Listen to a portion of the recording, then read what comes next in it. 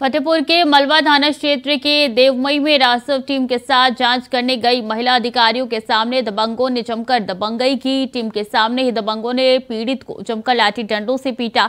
Team के सामने ही पीड़ित को पकड़कर रोड पर घसीटा गया। इस दौरान महिला अधिकारी दबंगों को समझाने की कोशिश करती रही, लेकिन दबंग अपनी दबंगई से बाज नहीं आए। वहीं मारपीट का वीडियो सोशल मीडिया पर तेज़ी से वायरल हो रहा है। फ़िलहाल पुलिस ने वायरल वीडियो के आधार पर दो लोगों के खिलाफ रिपोर्ट दर्ज कर कार्रवाई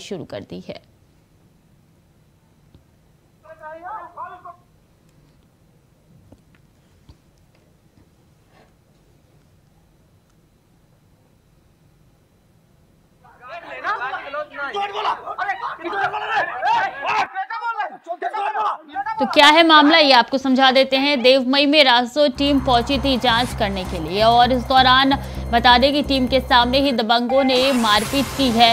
दबंगों ने टीम के सामने ही जमकर लाठी डंडू से वार किया है। तस्वीरें आप तक पहुँचा रहे हैं। टीम के सामने ही पीड़ित को पकड़कर रोड पर घसीटा गया है। तो दबंगों की दबंगई निकल के सामने आई है। इस दौरान महिला अधिकारी दबंगों को समझाने की कोशिश करती रही।